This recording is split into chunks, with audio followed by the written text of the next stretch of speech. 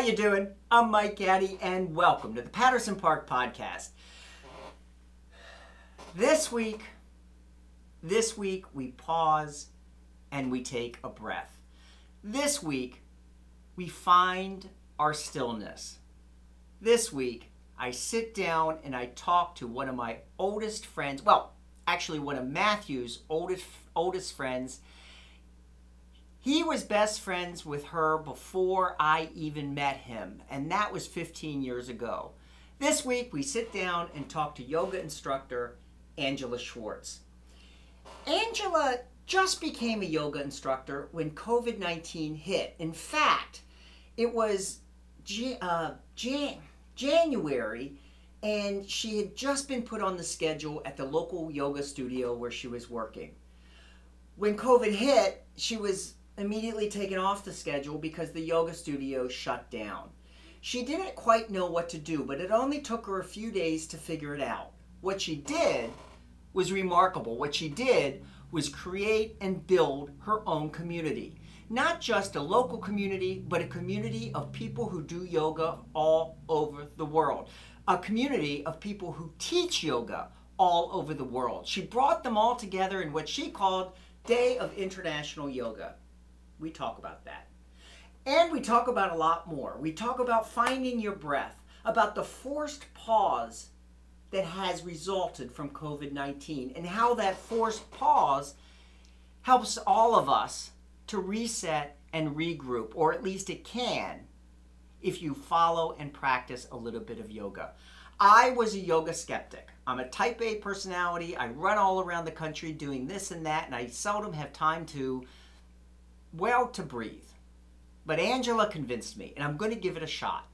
So please join me. She can convince you to take a listen. You know, you have all over your website, and, and when we have talked, you talk about community, community, community, community. And if you don't have a community, you're going to build a community. And so tell me about that because that's not most people's response when a pandemic hits is, oh, let me build a new community. Yeah. So I, my you think about what you need, what a person needs, I have to have connection. And where do you get connection? In community. And so I have always been a person that needs to be a part of an authentic community, doing something good, bringing people together. That's just it's how I'm made, right? It's it's what I've always done.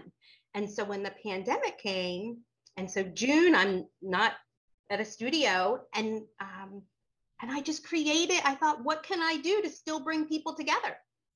I had already been teaching on Zoom for a couple months.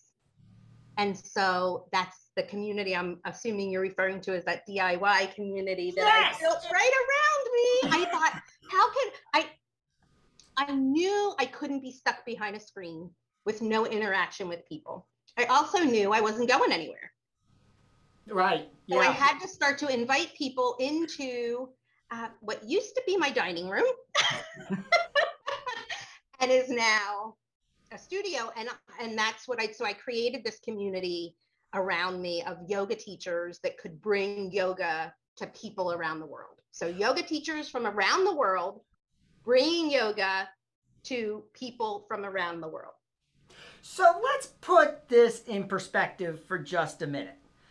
You were scheduled to teach you the yoga studio closed because of the pandemic. Literally within a day or two you rolled out meet me on my mat which is meetmeonmymat.org and i'll put it up there and then not a long time after that you decided to build and create a worldwide yoga community. So started internet i'm going to mangle this because of my dyslexia. Day of international yoga d uh, yoga.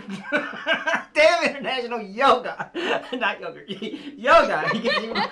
Day of international yoga diy and that exploded. It did it did. There were people um, i have some maps you can't see there but i have some maps on my wall. And every time that we would have a new teacher that would join the community or a new student, I would circle this place on my map, map. And we we wound up going to just about every continent and most of the United States with either an instructor joining us to teach or you know them inviting or somebody seeing it on social media and joining in. And it was um, what we did is a full day and every hour on the hour there would be a different yoga instructor with a different type of yoga instruction. So that i always this is the thing i say. Yoga's for everybody. But i might not be the yoga instructor for you. So let me help you find the instructor for you. So I, you know, that is not the business model that most people, you know, have. I think it's brilliant, you know, but but most people are like, kind of my way or the highway, right? There's enough for everybody of of everything. There right. just is. And nobody is going to share yoga the way that I share yoga and nobody is going to share it the way some other instructor shares it. And so the important thing to me is that people come together in community and that people make it to their mats or not on their mats. Toss the mat aside. I don't care. There's so much more to yoga than being on a mat, right? So I don't care how we do it. Let's just take a moment and be mindful. And I don't care how you get there. Okay, so you touched on it a little bit, but elaborate on your yoga philosophy and how how how you approach yoga is different than say you know the um, the typical uh, yoga instructor that you might come across say at the mall after the mall walk right right or like a like a gym yoga kind of exercise routine like right. do yoga to lose weight or you know whatever it is um, they, the movements are one part of yoga. And I didn't know and understand that until I did yoga teacher training. And I had been going to yoga for a while and I didn't understand that. So you thought that the movement, the the positions, like upside down doggy or whatever, and I know I'm mangling that. I'm intentionally mangling it. I apologize. it's my warped sense of humor. I refuse to let. That's okay. So, but but those positions and going through those positions is only one part of wh- how what yoga experience is and what it frankly should be. But it's a part that most people tend to focus on too much. Right. So it's a very important part, and the movements are what allow us to come to a place of understanding about ourselves and and then it allows us to come to a place of stillness and be able to to have the meditation. But there are other people like the first piece is about how you are in community and how you treat other people. Well if we're not putting that first in community then i don't care how good you look on your instagram feed. So um, that that's my approach is that there's so much more than how you look in a pose how you do a pose. So this downward facing dog, you notice I haven't corrected you. I never would correct you unless you ask me, right? right? I just don't because your downward dog is going to be completely different than mine. It's going to be completely different than someone else's. Nobody in a group practice should look like the person who puts themselves in the front of the room because it's a personal practice. And and those postures or poses are just that one little piece. So when we're talking about being in community, which is the most important thing, does it really matter, you know, if you can be in tree pose or whatever it is? No, what matters is that you're understanding yourself and and how you what relate to other people, and then that you can find that stillness. I find that, that stillness. Find that stillness. So you said the poses are one part. What are the other parts? So there, there are eight limbs of yoga.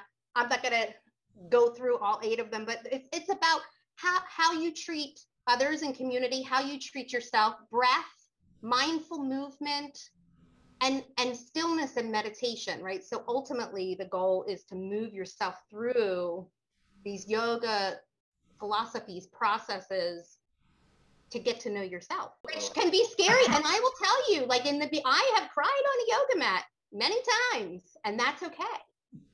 Um, what is it about being in some of these poses that can cause this abrupt, sudden, and surprising emotional release? And I say that based on what well, let's face it, I don't have to beat around the bush. What mm, you know, Matthew has told me about him bawling at the. mm-hmm, mm-hmm. And you're going to be sorry you said that you were um, interested in yoga and didn't know much because I'll be making sure you know it all now. well, if we go back into lockdown, you. you know. That's right. That's right. Um, I, you could you could be a student. This that's the other cool thing with the and I will get back to the question. But the other great thing is I used to only be able to teach people that could show up at the studio at a certain time. Right. In my neighborhood. And now right. it doesn't matter where you are, I can be in your living room, which is great. Right. Um, but the the I what you're doing is moving the breath and and operating with such an awareness just basically what my what i say is just notice notice the breath notice your posture you begin to notice a lot and and feel those emotions going through you that breath going through you. When you hold a pose for a period of time that stretch can get really deep and give you a, a release. Um, there's a lot of research on it. And um, you know one of the things that one of the areas that i've studied is a trauma informed yoga approach because a lot of times we have trauma that we kind of store in places in our bodies but we just keep moving and we don't find the stillness to just so allow, allow, you're allowing the breath. You're allowing the process. So when you slow down mm-hmm. allow the breath stop mm-hmm. what you're doing find your stillness.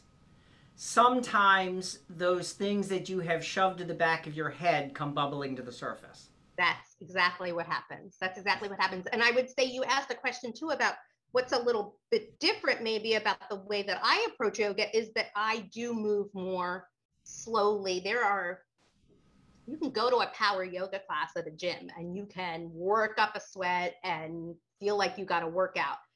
That's that's a workout. That's exercise. Um, that's not really what i'm interested in in sharing. Right. I should be sharing with you the skills and strategies you need sharing different ways for you to become successful at what it is you want to do so that you don't need me it's the same thing in yoga and so yoga is not if, if i just showed you how to work up a sweat, like go whatever it is, get a workout. Where are you taking that? What are you doing with that? So the idea in, in the approach that I have is to, to slow down and to allow yoga to be a part of your life. And I just share, here are some things that I, you know, some breath work I've done, some postures or poses that I've done that have helped. And here are some things that work for other people. Try these things. Try it your own way. See what works for you so that you can take the practice and do it on your own so i'm i'm again trying to work myself not an, another one that's not a great business model i know but i'm trying to work myself out of a job and it's it's about choice and to me maybe choice goes right under community and what's important to me Hmm. And and that's what yoga needs to be about. That and I will say when I share practice, I will say, here's the the shape we're going to be in, the pose, what we're going to be in. Make your choice about the way that feels good and comfortable and safe for you. But you can be still, but you're not stuck, and you can always change your choice. You said to me the other day that you can change your mood by changing your breath. Tell me, tell, tell, tell me just a little bit about that because I gotta tell you, the last few days with the pandemic and the Delta variant taking off and events starting to get canceled again and etc. My mood has been, and you might even be able to tell I'm a little more subdued than I normally am today, is just because uh, you know everybody has all of a sudden is revisiting this sense of really I, and for me it's like really really especially with people not getting vaccinated when there's a perfectly good vaccine out there Anyway, I don't want to get into that. But, but anyway, what are some quick techniques or how do you go about changing your mood by changing your breath? I find that concept, that's not something I've heard before. So it's all in the noticing. That's all it is. So just stop where you are.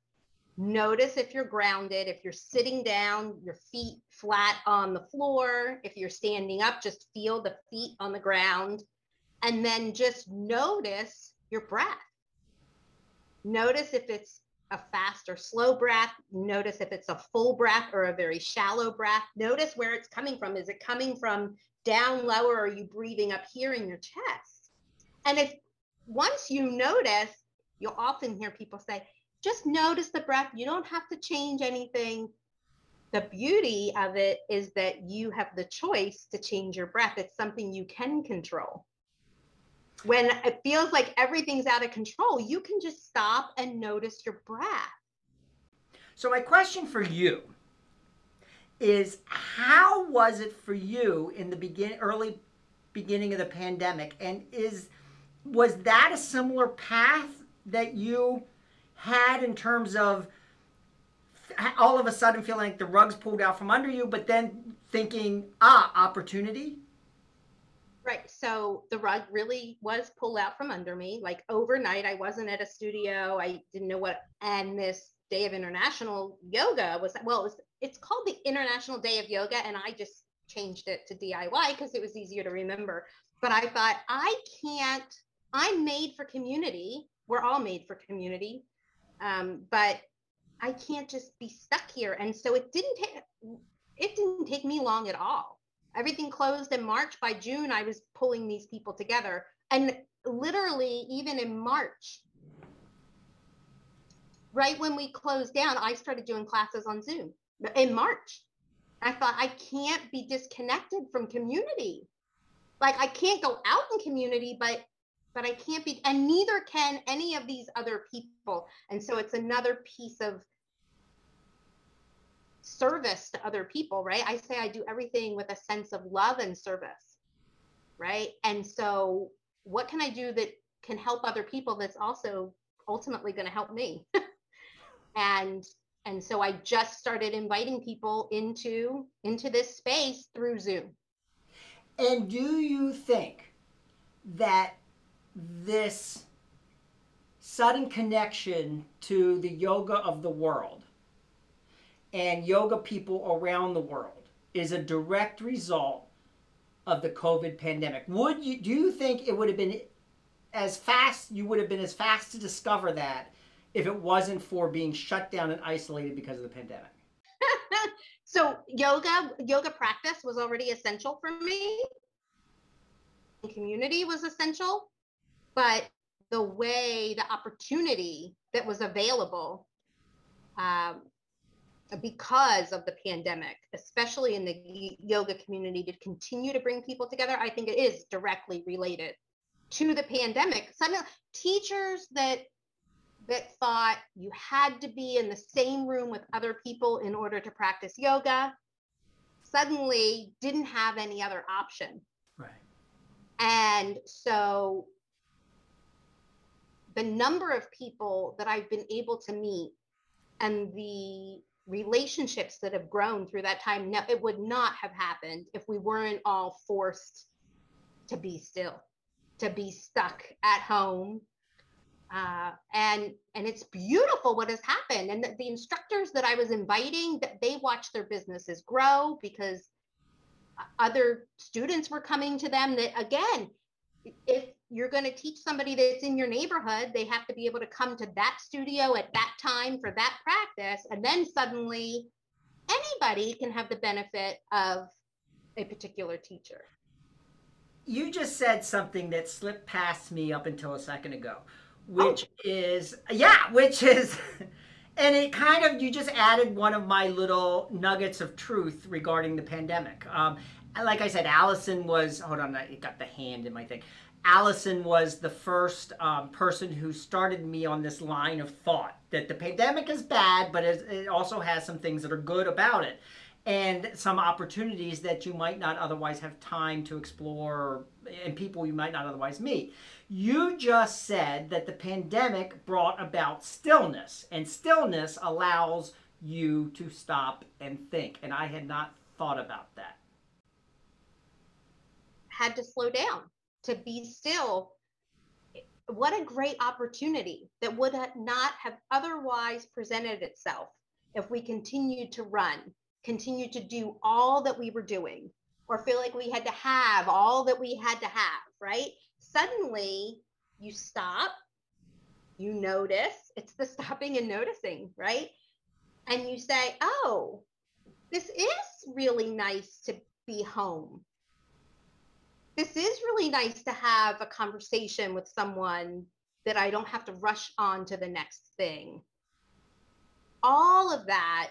And to me, all of that is yoga.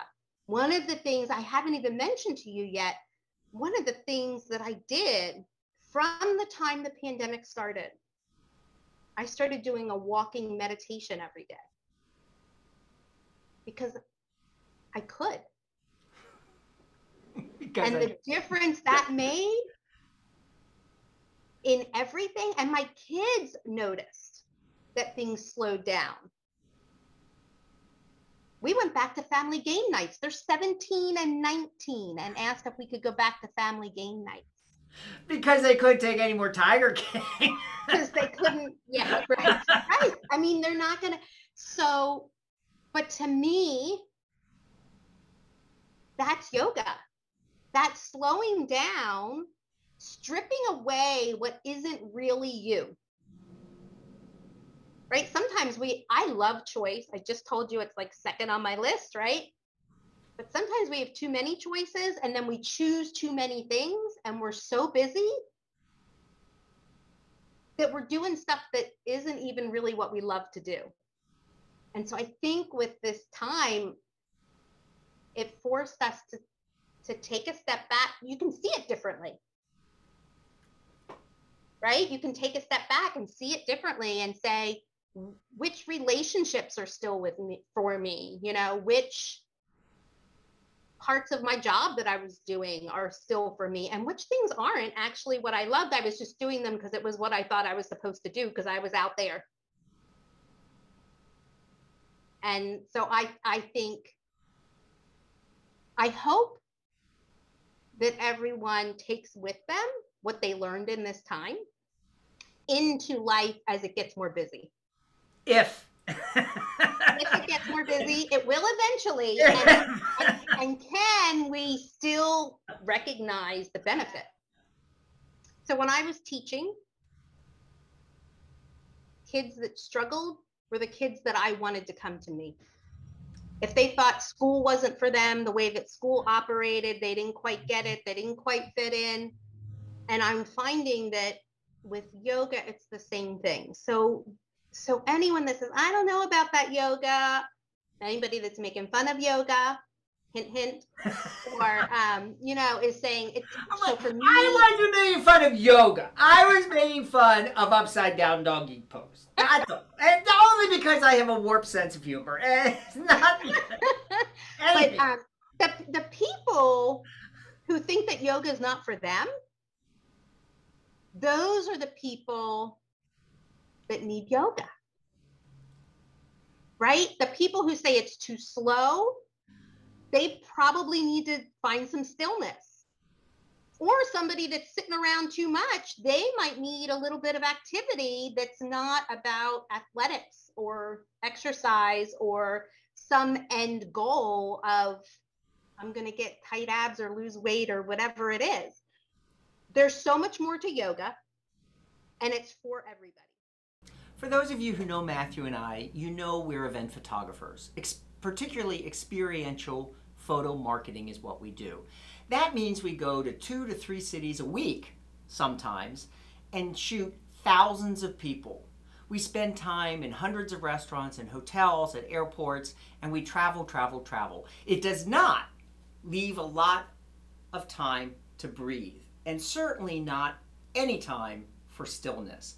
So Angela Angela is totally right. COVID has enforced a stillness that makes us all reevaluate everything that we're doing. Maybe learn new skills or take up a new hobby or start a podcast.